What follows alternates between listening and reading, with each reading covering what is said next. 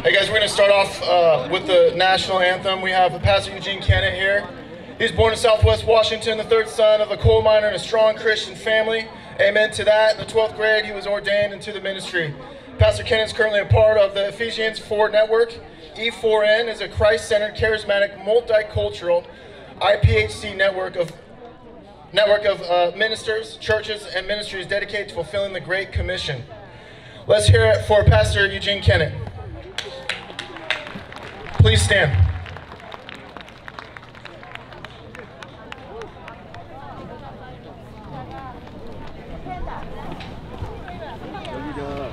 Oh, say, can you see by the dawn's early light what so proudly we hailed at the twilight's last gleaming, whose broad stripes and bright stars through the perilous fight. O'er the ramparts we watched were so gallantly streaming, and the rocket's red glare, the bombs bursting in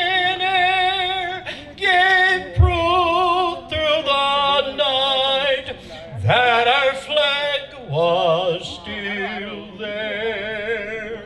Oh, say does that star-spangled banner yet wave o'er the land of the free and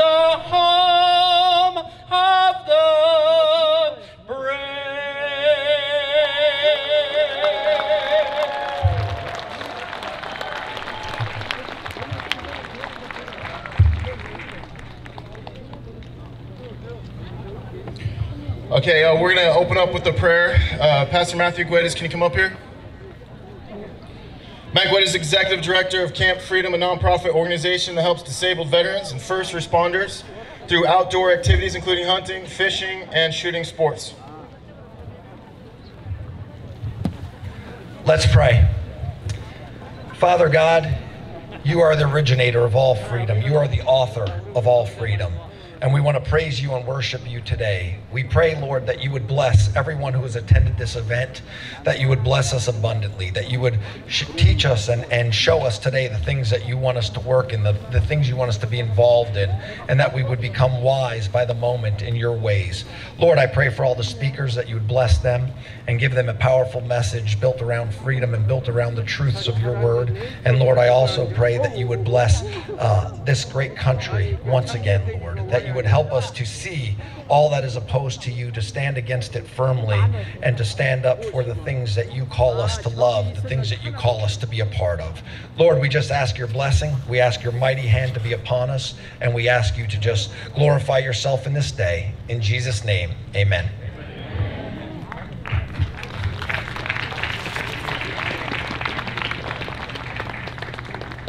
Okay, how many of you guys been paying attention, seeing what's going on in Hong Kong? It's unbelievable. It's unbelievable what's going out there. I, I had the privilege, I spent nine days out there. I saw several protests. There was not one protest that I went to where I was not crying because it was unbelievable to see two million people together, united to fight against the communist regime in China. It is unbelievable. These people, armed with umbrellas, are willing to die for their country, for Hong Kong, their city, right? It's unbelievable. It's so inspiring. While we in America, we have a tendency to sit around and, and sleep while our government continues to sell out this country, right? It's unbelievable. The thing is, is Hong Kong, the people are protesting because they know what they're up against. They know what their future is for, and they do not want their children to have the Chinese Communist regime to be ruling over them. Can I get an amen? This is why the Second Amendment is so important. They have two million people in the streets and they're armed with umbrellas. Imagine if they had the Second Amendment. The uh, China only has about 2.5 million ground troops.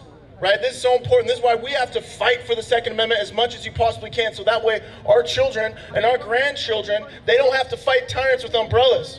Right? Can I get an amen? We have to help our the youth understand this fact right here, okay? This is very important. The youth has to understand that the government is not here to protect us. They do not pass laws to keep us safe. They do not. They do not pass any gun laws to keep you guys safe. Is that right? If they want to keep you guys safe, why are they going after the rifle, which only only kills about 300 people per year? One of the safest guns that you can own, and they're going after that. That's why every single time there's a mass shooting, China publicly states that our government needs to be more strict on our citizens to take away our Second Amendment right. And here's why. I'm going to tell you why, okay? If you find out, if we hear that they, any, any troops, okay, take one step on our country, you know that all of you guys and everybody, everybody in this country, every single patriot will be there to protect this country, to protect the women, protect the children, right?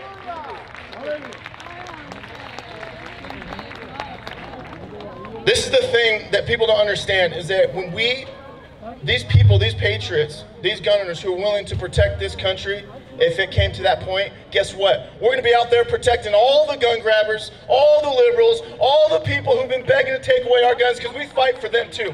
That's a real freedom fighter. Can I get an amen? This is something that I've been going around the country and I've been I've been trying to push this and help people understand this, okay? Rebellion to tyrants is obedience to God, ladies and gentlemen. It is obedience to God. It is your moral obligation when you see evil clear as day, okay? And you say nothing and you do nothing, you will be held just as responsible as the evil itself. Right? Darkness only exists in the absence of light.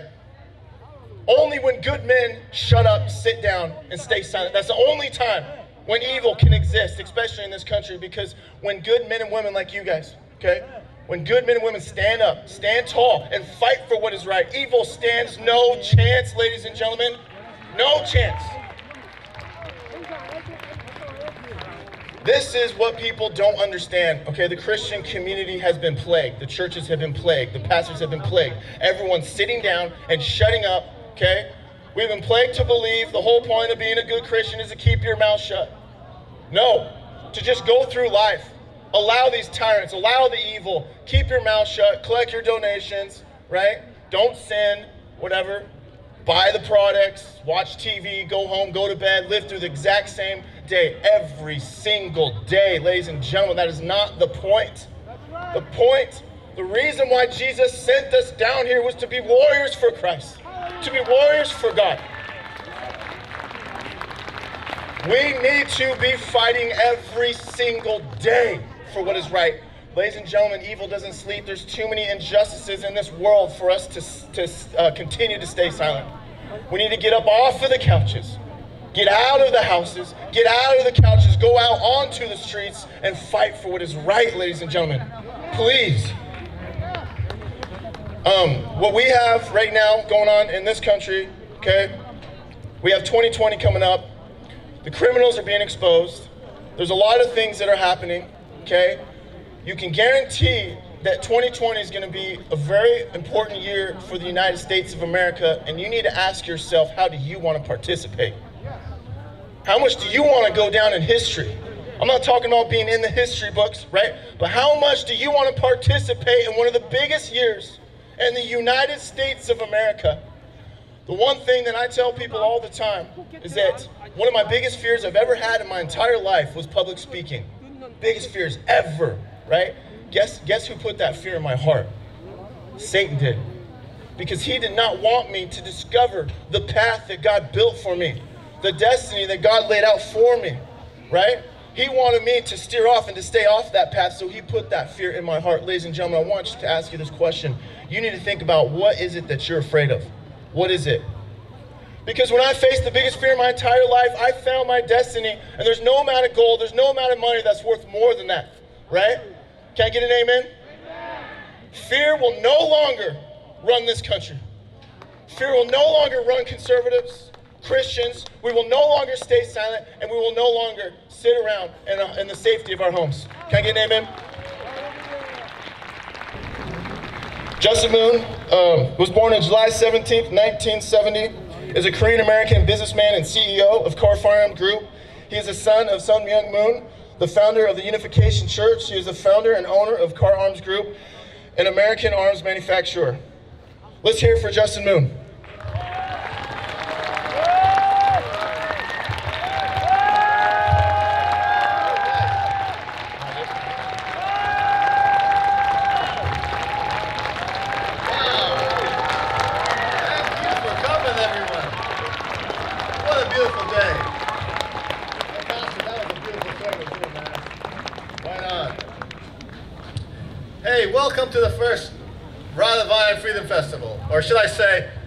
To America. Kahr Arms is proud to be the main sponsor for this event in partnership with the Rod of Iron Ministry. Today, our God-given rights of sovereignty are being threatened by runaway correct political correctness and, and an overreaching and overbearing government regulation. We see, we see words being banned. We see people's rights to due process being taken away by red flag laws. It is for this reason that we Americans who love liberty and cherish our rights gather here today to celebrate God's given inalienable rights. We say to those people who want to take our guns, no. Hell no. Hell, hell no. if you want to take our guns, come and take it from our cold dead hands, as Charleston Heston so eloquently stated. The framers understood well that the greatest threat to liberty and the pursuit of happiness was and still is a tyrannical government. The 20th century was born witness to the democidal inclinations of overgrown governments, imperialism, communism, nationalism, and national socialism, which have murdered over 260 million people in the last 100 years during times of peace. In the same 100 years, only 25 million people were killed by criminals. The truth is, you're 10 times more likely to be murdered by your own government than you are by a criminal. Hey, that's exactly why we need the Second Amendment. I would like to thank our veterans for their service.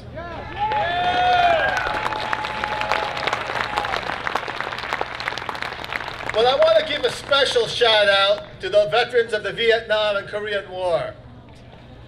Thank you guys for killing commies.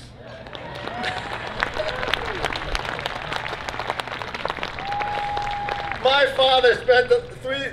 My father spent three years in the North Korean communist death camp until he was libera- liberated by General Douglas MacArthur and the U.S. Armed Forces. If it wasn't for our servicemen killing those goddamn communists, I wouldn't be here today. So, from the bottom of my heart, thank you for killing commies.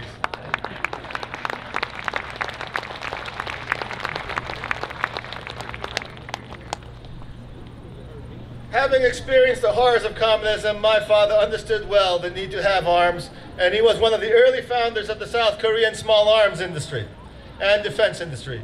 He also fathered conservative alternative media here in the U.S. as the founder of the Washington Times. My father knew that freedom existed because good God believing people had guns until his last day on this earth. He supported the Second Amendment. Yet today in America, nearly half the millennials identify as socialists. We have not taught our children the hard earned lessons of history. Venezuela 20 years ago was one of the wealthiest nations in South America and enjoyed many of the same freedoms that we have here today. Today, Venezuela is in societal collapse because of the free spending and corrupt policies of Hugo Chavez's socialist government. People are starving and being killed on the streets. The government has become predatory, and the people are unable to resist and defend themselves because the government confiscated their guns. We should learn the lessons of history. We should return to the wisdom of our framers. We should reject the calls for more government and socialism. We need guns because governments and criminals are far too willing to oppress those who have no means to defend themselves. For me, the choice is clear. I stand with the Second Amendment and freedom as my father did. What part of shall not infringe do you not understand? God bless the USA and have a fun day celebrating freedom.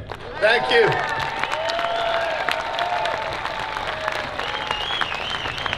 Okay, up next we have um, Alan Gottlieb. He's a founder of the Second Amendment Foundation. He's the author of numerous Second Amendment books. Alan has published articles in San Francisco Examiner, Washington Post, Chicago Tribune, and USA Today. Let's hear it from Mr. Gottlieb.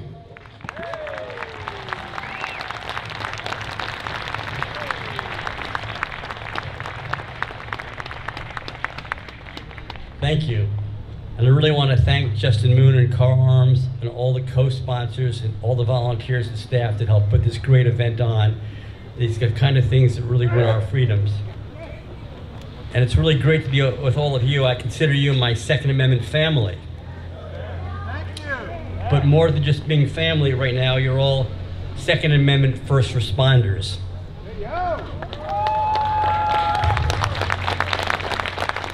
And let me tell you, it's battle stations.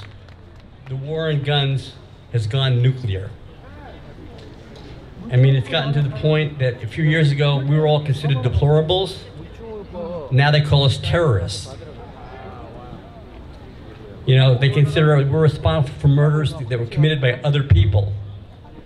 They want to take our rights away, not those other people's rights away. And the media, they're worse than they've ever been.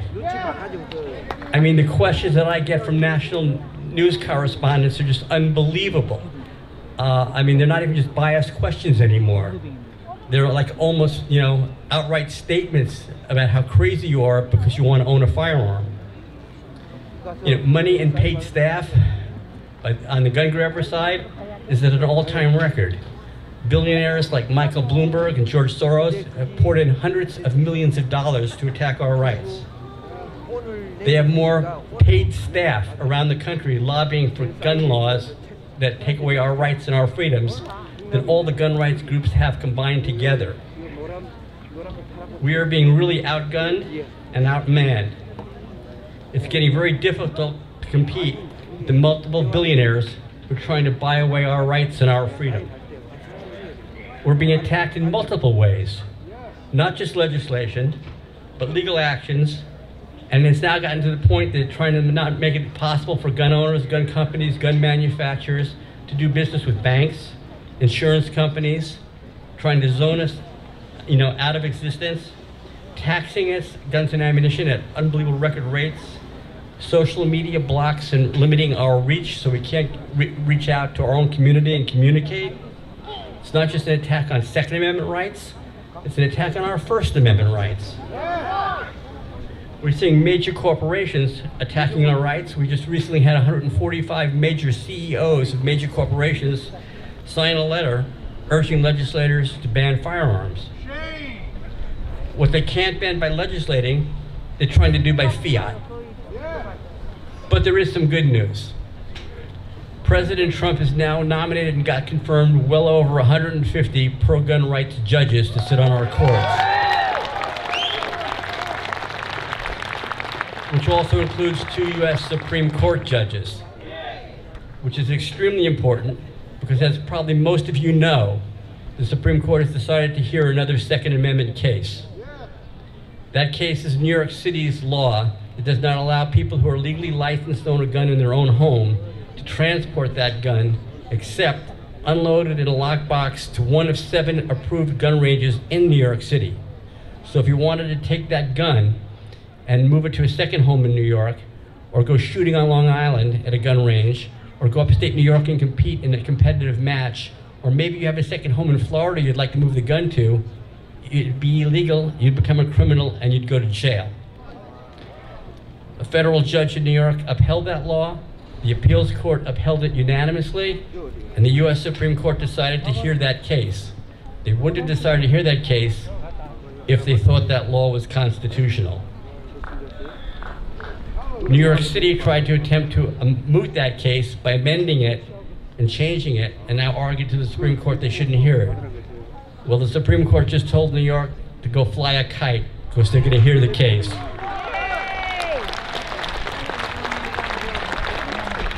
There's also four other cases, one just filed by the Second Amendment Foundation two days ago, before the Supreme Court with cert petitions we hope get granted, uh, that be heard right after this one.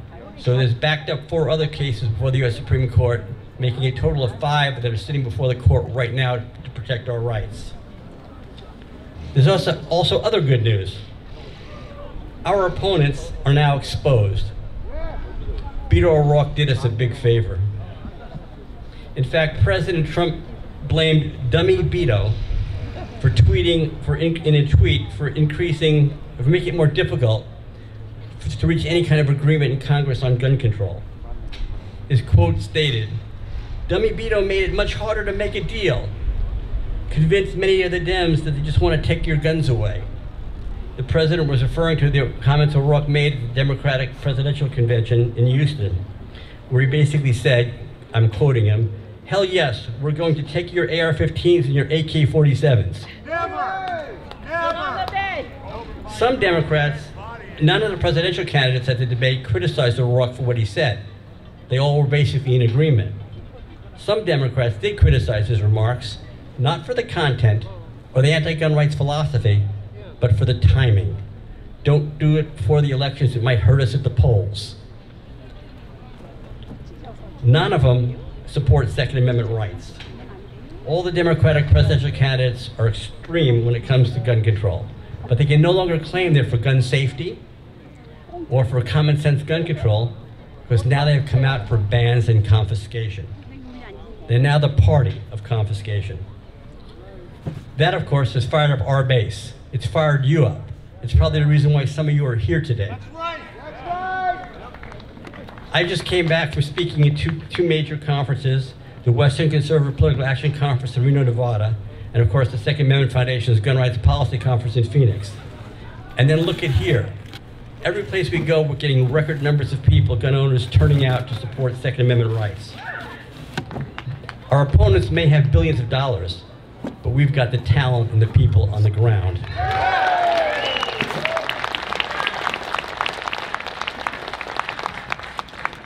The White House has contacted me six times over the last month to talk about what's going on in Congress and what the response should be. And I can tell you that President Trump will not consider bills passed by the United States House of Representatives that put in so-called universal background checks that are really universal registration systems or red flag laws that they passed without due process and protection for gun owners and Second Amendment rights.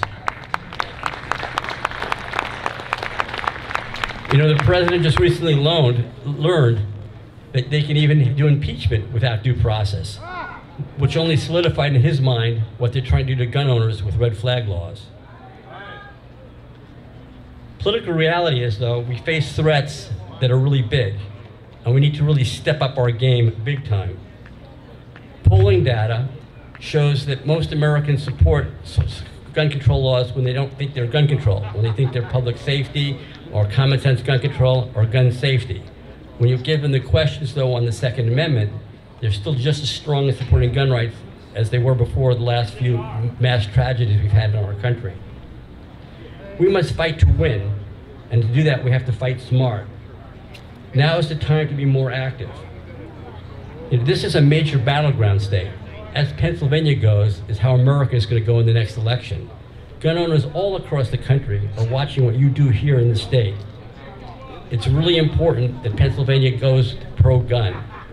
We need to have a pro-gun president, we need to have a pro-gun Congress.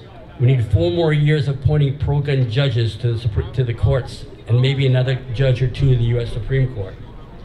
You have your work cut out for you here in Pennsylvania. And every gun owner again in America is counting on you. I'm counting on you. Together, the 2020 elections is going to solidify our gun rights for decades to come. Thank you.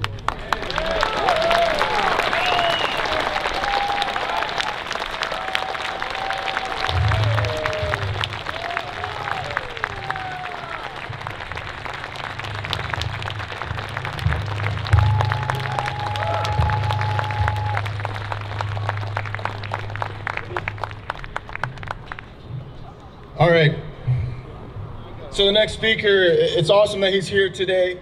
If you guys remember what happened in Benghazi, 9-11, 2012, it's absolute disgrace what Hillary Clinton did to this country and sold out the good men and women.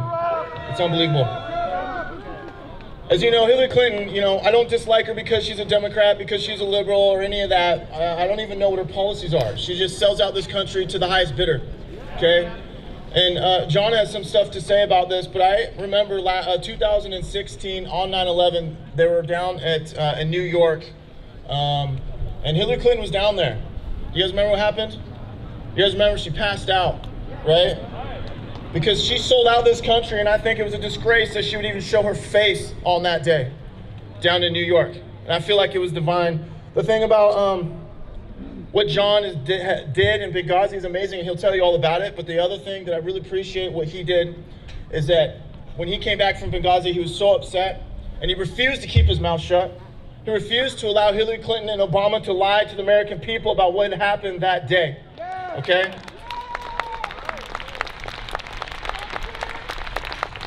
So here today we have John Tiegen. He's a former Marine sergeant, secret soldier from the Battle of Benghazi, co-author of the movie Consultant for 13 Hours, which was an amazing movie, by the way. A motivational speaker. Let's hear it for John Tiegen.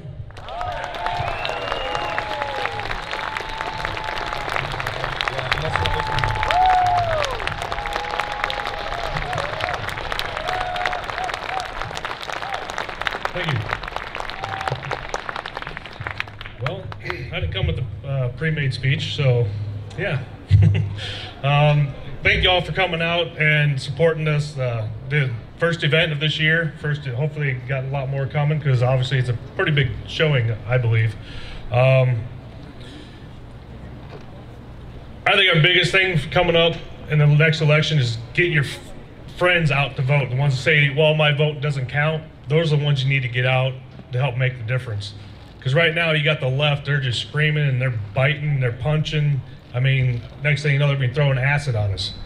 Um, again, taking away your rights, I think right now the, the Second Amendment is more important than the First Amendment because the First Amendment it's it's actually getting shunned too. Look what they're doing in California. I think it's against the law to say manhole, or it's against the law to call an illegal alien an illegal alien.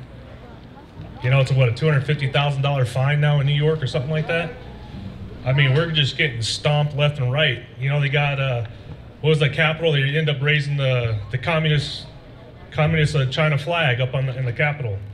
Was that Minnesota or something like that that did, did, did that recently? I mean, the people that are getting elected in the office is just, it's ridiculous. They're straight up coming out that they're socialist communists. They support, you know, pretty much dictatorship. They want to take everything away. They want to control everything that we do, every pretty much from what we say to what we own, and to if, if our cows can fart. I mean, it's the politicians nowadays. They're just so emboldened. I think it's because the conservatives have been so quiet and not been seen. I think we need to reverse that. We need to be seen and we need to be heard on a higher number.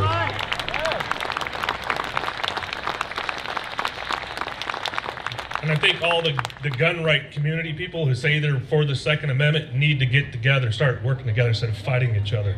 I see it all the time. People ask me, hey, why don't you come do this? Well, why don't you work with these guys? Ah, we don't like them. You got the same freaking cause. We're being divided by ourselves. We need to band together and start working with each other. Look at the left. I mean, they're they're coming together. They're they're crushing our voice. So you got to really get out there and start pushing and pushing. You know, we did a. I didn't get to go. Did an event up, up there in Colorado supporting the Border Patrol, where the they tore the, the American flag down, raised up, I believe, the Mexican flag at the Border Patrol office up there. You know, we had a counter protest. I didn't get to go, but it was a lot more organized, where a lot more bigger groups band together and came together that weren't really talking to each other, but it made a huge difference the next time they went out there and tried to protest the Border Patrol. So again, we have to get together. We're, that's going to protect our First Amendment and our Second Amendment. You know, obviously, what's that guy? What's what's her name? The Beto guy? Beto. Yeah. I mean, he's saying I want to take all your, yeah, the beta male. I want to take all your ARs. Yeah, good luck with that. I mean, I don't know one one sheriff that I've talked to so far. He say he will even enforce that.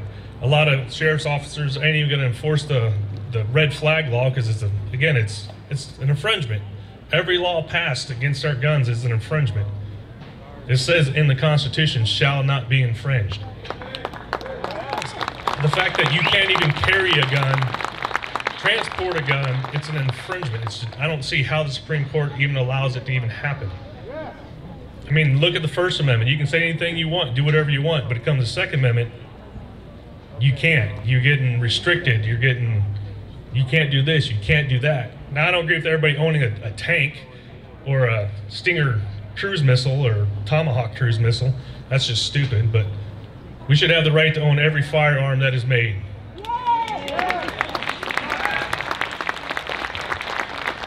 And again, the only way we're going to get that back is if we come together. Every Second Amendment pro group actually comes together and starts fighting back together.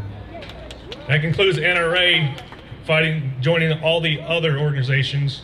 I can't like the Gun Policy for America. They need to all come together and work together. The sad thing is they're all fighting each other for the same exact freaking thing, and it's it's it's hurting. It's I mean you see it. But I'm glad to be a domestic terrorist now because I am an NRA member. Just so you know. So I went from a Benghazi hero to a Benghazi hero domestic terrorist. So I guess I'm put on my new title. But again, you know, thank you guys. Appreciate you guys coming, supporting this, uh, supporting Kahr and the Rada, Rada Ministry, and it's awesome. Hope to guys see you guys tomorrow when I'm doing my seminar. I think to tomorrow at one o'clock up here on this stage, which I'll tell the firsthand account of Benghazi. And again, get your friends out there to vote with you. That's how you're going to make a difference. Otherwise, we will be on the streets with our guns again. Again, thank you.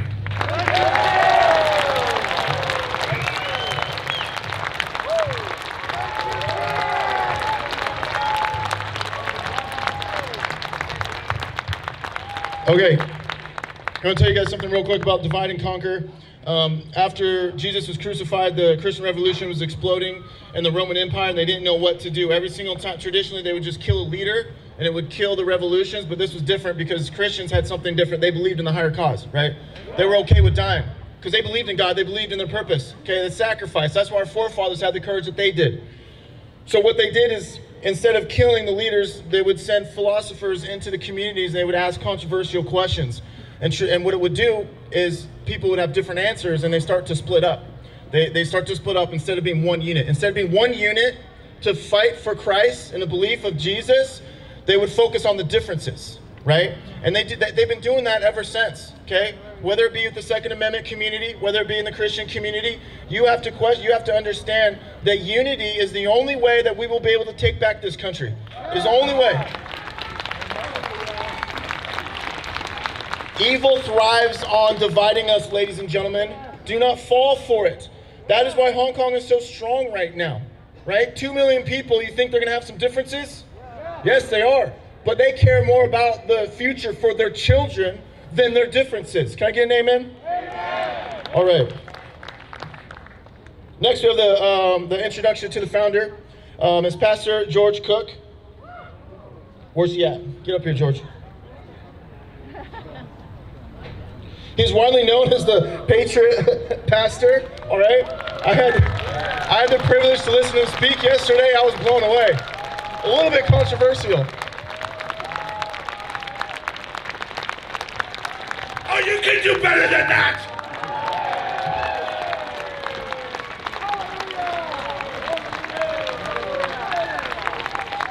All right. I want everybody, I want everybody, I gotta say this slow because it's being translated. Everyone who has never been to the United States before, please raise your hand. All you Americans, let's give them a big welcome. God bless you. We are so happy you're here. We're happy. We're, I'm ecstatic. I'm ecstatic that you're here. We love you. We love you. I love you.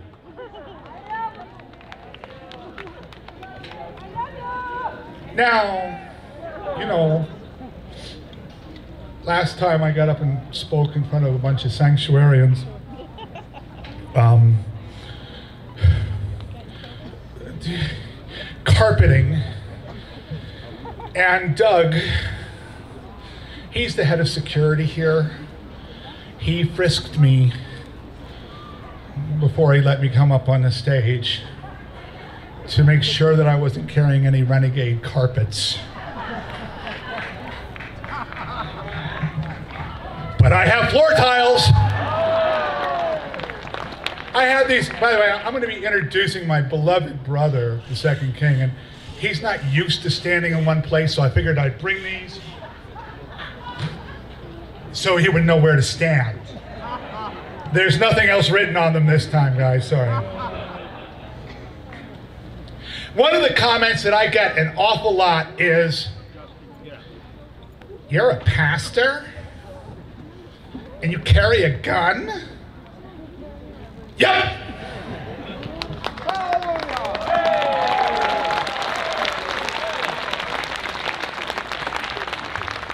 And if you've never been to a church where the pastor carries a gun, welcome. welcome. You're going to get a belly full of it today. And if you're part of the liberal media, welcome. And you know what you call a pastor who carries a gun? You call him a pastor that doesn't have any church shootings in his church.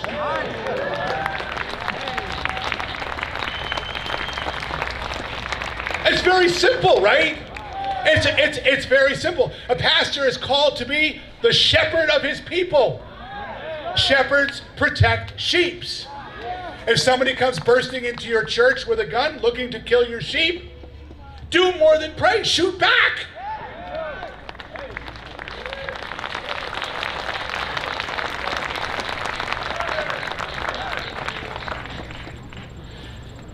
And just in case this makes it, you know, to the liberal media, and it will, I just want to say one thing to Joe Biden,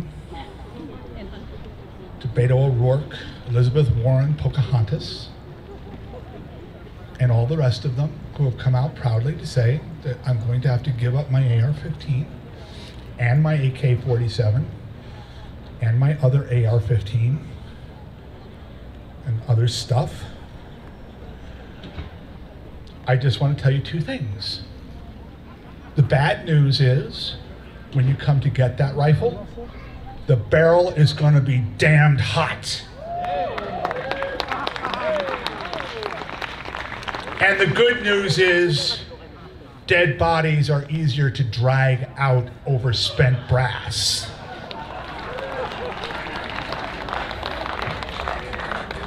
Yes. And you know I'm telling the truth, right? Because everybody knows me. It's like, Pastor George is a maniac. Just incidentally, and I, I do have the privilege, and I, I'm going to do this right now, of introducing a man who has become very special to me. A year and a half ago, I didn't know him. Now, apparently, I'm a Moonie. I'm, I'm like, the, I'm, I'm like, my wife goes, "Are you a member of that church? They don't have members here." We have supporters. God gave me, God gave me a word the first time I ever met him. He said, protect him. Support him. I didn't know why then. I kind of know why now.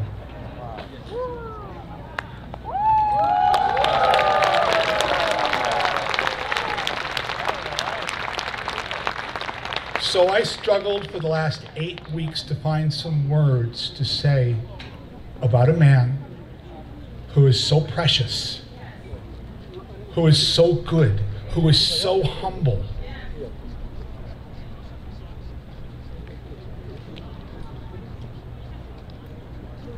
I'm going to quote The doctrines of Jesus are simple and tend to the happiness of man. The practice of morality being necessary for the well being of society, He, God, has taken care to impress its precepts so indelibly on our hearts that they shall not be effaced by the subtleties of our brain. We all agree in the obligation of the moral principles of Jesus and nowhere will they be found delivered in greater purity than in his discourses. I am a Christian in the only sense in which he wished anyone to be, sincerely attached to his doctrines in the preference of all others. I am a real Christian, that is to say, a disciples of the doctrines of Jesus Christ. This quote by one of our famous founding fathers describes my brother. That is the side that serves Christ and is the shepherd and the beloved king.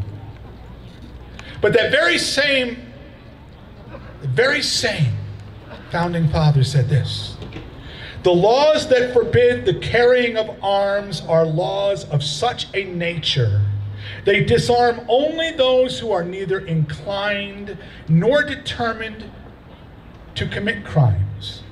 Such laws make things worse for the assaulted and better for the assailants.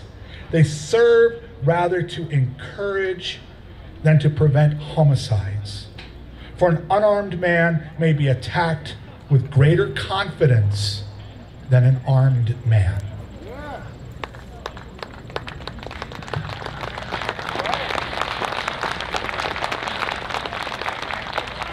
Thomas Jefferson. So, by way of introduction, I thought about what will I say about the king? What will I say about Pastor Sean Moon? What will I say about him? Shall I tell you about his time in Harvard? Shall I tell you about his path, his walk? Shall I tell you about um, his books that he's written? Should I tell you about the family that he's raised? Should I tell you about his lineage? I'm going to tell you the most important thing. He is my brother, and I love him.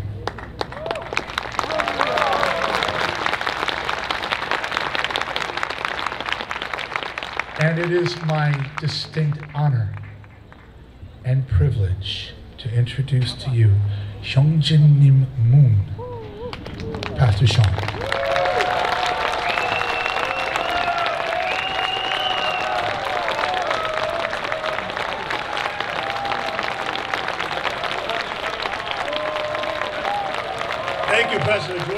My goodness, he always making us blush. My goodness. Please, please, folks. All glory to God. Thank you. Good morning, patriots and freedom-loving people made in the image of God. We are honored and pleased to have you at the beautiful Kahr Arms property, celebrating America, the Second Amendment, and the culture of armed, responsible citizenry. According to the Young Turks, uh, this is a fully uh, semi-automatic belt-fed that could uh, get you a, a, in a thousand rounds in, in half a second. I also want to acknowledge the planning committee and all our friends and their families who made this event possible. Also, we are happy to be joined here with other freedom fighters from around the world who are fighting in their respective countries for a Second Amendment that we enjoy and often, often take for granted here in the United States. I'd like to give credit to all the freedom fighters in different countries that are also standing up for their natural right to self-defense. If the right to keep and bear arms is a natural right, like our framers stated, then it is a human right, and all human beings should have the right of self-defense against tyranny. We celebrate freedom this day because in 1950, my father, the Reverend Sun Myung Moon, was freed from a North Korean death camp by U.S. forces while he was imprisoned and scheduled for execution for preaching the gospel. It is good men with guns that stop bad men with guns that led to my father's freedom, with which, out, uh, which without myself or my brother would not be here today. We deeply thank God for the good people with guns that seek to defend others because you make our world safer and better.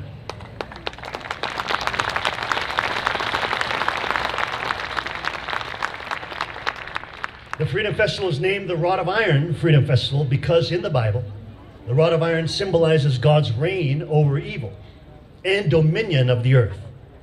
The rod of iron is the accoutrement that judges the wicked and the criminal classes and, quote, shatters the nations into pieces like the potter's vessel. God's kingdom de- depicts a decentralized armed society that is in the image of the chief shepherd, 1 Peter 5 and verse 4. The shepherd's hook, staff, is to catch and rein in his sheep from harm. And the shepherd's rod is to punish the wolves and predators that seek to kill his sheep. In the same way, the rod of iron that is given to the believers in Christ Jesus allows the good guys to have arms to defend the sheep and to punish the wicked when needs be. Evil in the heart of man will always need to be warred against because God has given man free will. He can choose good or he can choose evil. It is for this reason that God makes his people kings to rule with him in co-heirship, Romans 8:17, and collectively defends the kingdom of God from the predator class that lusts for absolute power. Jesus is not the effeminate, castrated Jesus that we see depicted in stained glass windows or we may have heard of in Sunday school. He is a perfect man, God Himself in the flesh, that as a loyal son and soldier gave His life for you and me. And we ask that you make Him the Lord of your life and be forever transformed.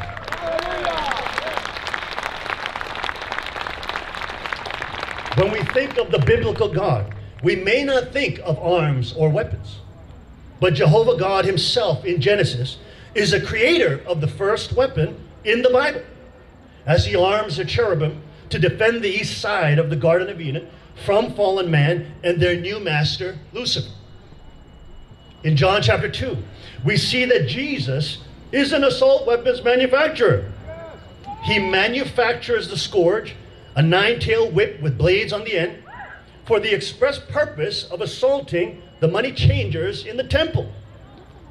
In Luke chapter 22, Jesus states to his disciples, Sell your cloak and buy a sword, a military grade weapon which civilians could not own.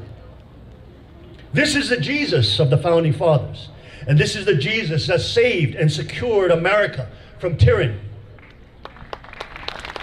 Amen.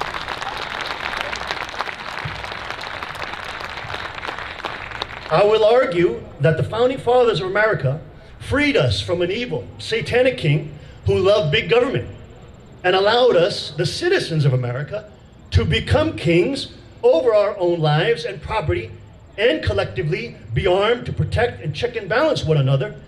After all, as the saying goes, an armed society is a polite society. Ten reasons why the founding fathers made us kings. Number one, Historically, kings differ from slaves and servants. Kings historically had a divine right, inalienable rights, and natural rights. Kings could own territory and have a sovereign kingdom.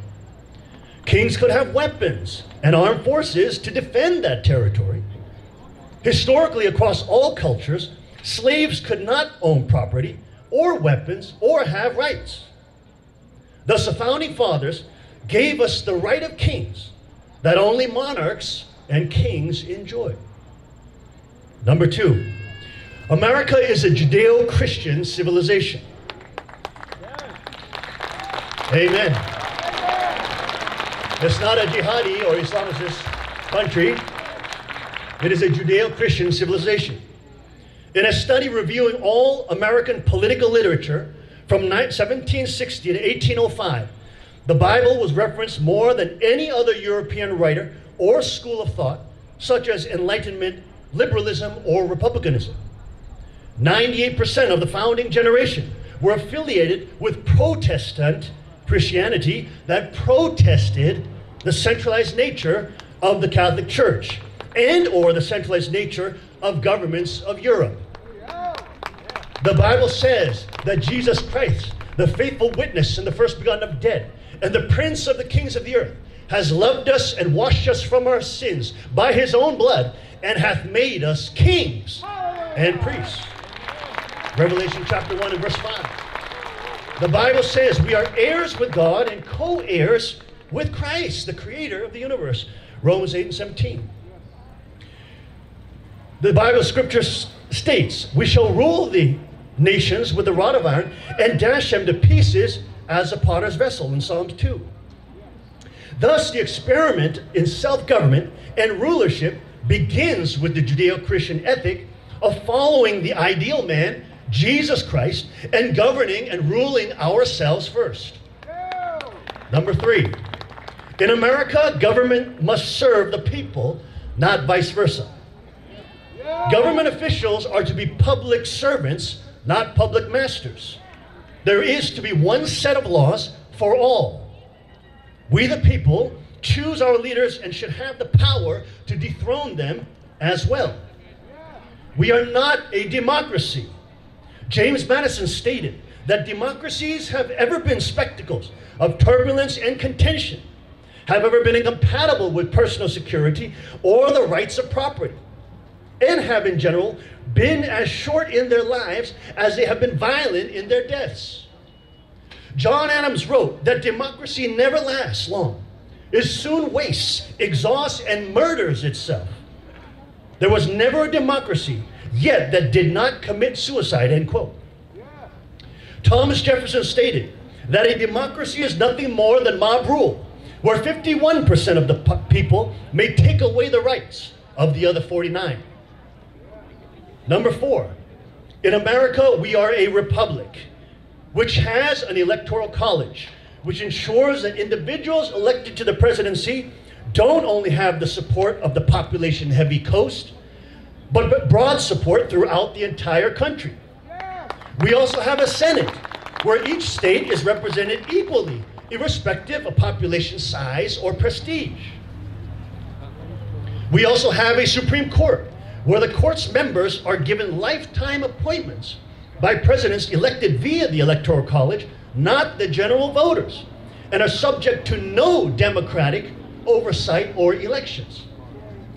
Thus, these checks and balances help protect our sovereign rights as citizens and as kings. Number five, in America, like a king, we are innocent until proven guilty by a jury of our peers. In the 18th century, Sir William Blackstone wrote the truth of every accusation must be confirmed by the unanimous suffrage of 12 of his equals and neighbors indifferently chosen and superior to all suspicion. Entrusting plenary powers over the life and liberty of a citizen to one judge or a group of judges is dangerous. Community participation in the determination of guilt and or innocence is essential to our criminal justice system. This was to protect the citizens from false accusations or political targeting. Number six, in America, like a king, we own ourselves and we own our labor. We are not the property of the state. Our founding fathers adored the writings of English theologian and political theorist John Locke. Thomas Jefferson stated that Locke was among the trinity of greatest men the world had ever produced. John Quincy Adams pronounced that the Declaration of Independence was founded on one and the same theory of government expounded in the writings of Locke. John Locke, the theologian, argued that we human beings in a state of nature own our own bodies and thus own the fruits of our labors produced by our bodies. These fruits of our labors become our private property as they would have remained unused and unaccessed parts, parts of nature. Thus, private property is a right derived from our labor and is not a right given to us by bureaucracy or government. Private property is not a social convention, it is a natural right required for survival.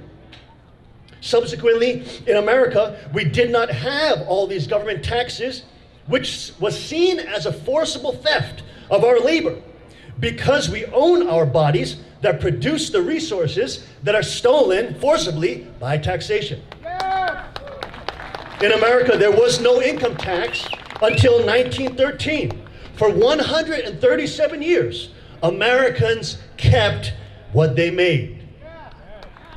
Number seven, in America, like a king, we have the freedom to interact and transact with whom we choose. Economic interaction must not be based on coercion, i.e., taxes or monopolies colluding with government.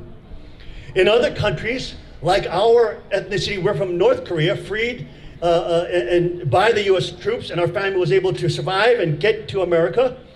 Economic, uh, in other countries, government has total control of economic realities, like production, money supply, interest rates, etc. Before the Federal Reserve Act of 1914, the U.S. enjoyed the world's most free economic arrangement, where governments did not pick and choose winners, but rather individual customers determined winners. The customer is king. We heard that many times in our, in, in our growing up. Freedom in the markets is essential for a moral society, as it does not use force to initiate trade, and it allows people to earn their happiness and success. Trade is done in a mutually beneficial manner, and in the end, the competition of producers makes for higher quality and lower priced goods and services. So, like kings, we have the freedom to transact with whom we choose. In North Korea, you don't have that, folks, neither in China. In America, the citizen, number eight, in America, the citizens have more guns than the government. In other parts of the world, government has the majority of guns. Guns are a tool of power. Mao Zedong stated that all political power comes from the barrel of a gun. Communists and those who believe in government like a religion know that they must monopolize the use of deadly force to coerce people to obey their tariffs, taxes, and unconstitutional laws. The Second Amendment allows for citizens to have a last means of defense, not to hunt or recreationally shoot, but to throw off a tyrannical government by being able to organize and create local militias and citizen armed forces. The Second Amendment states that a well regulated militia, being necessary for a free state, the right of the people to keep and bear arms shall not be infringed. This right to armaments is the ability to organize in groups as capable armed citizens. It is a right that only kings enjoyed historically. There is no other country in the world with such an armed civilian class. In America, the citizen is a sovereign individual, like a king, that can protect his kingdom and collectively with other citizen kings can protect the country from enemies, foreign and domestic.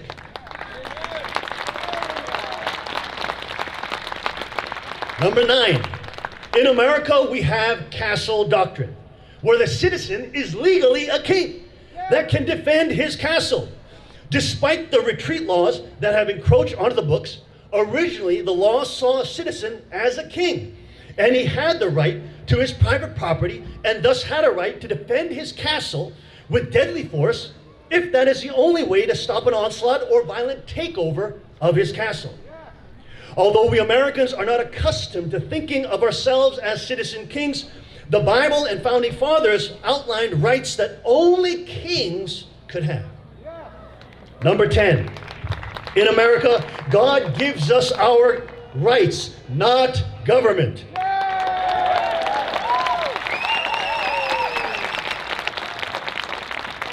Thomas Jefferson submitted for use on the seal of the United States the phrase resistance to tyrants is obedience to God. America protested, put, I'm sorry, protected the natural rights that a loving Father, Creator God, bestowed upon His children. God gave dominion of the world to His children, not Lucifer in the Garden of Eden. The ideal of God's creation is that his children be fruitful, multiply, and have dominion over the earth. The Bible speaks of the right of believers in Christ to also rule the angels and the nations in a poimaino rule or shepherd like rule. But right now, our country is in tremendous chaos and under attack.